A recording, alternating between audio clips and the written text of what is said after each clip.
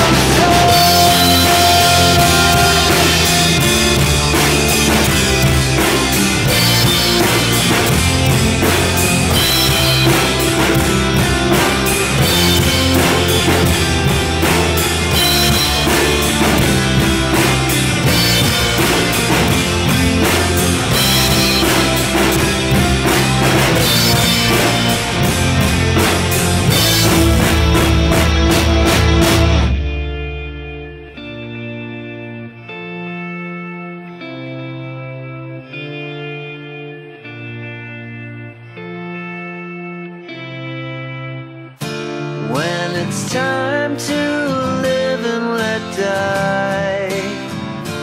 And you can't get another try. Something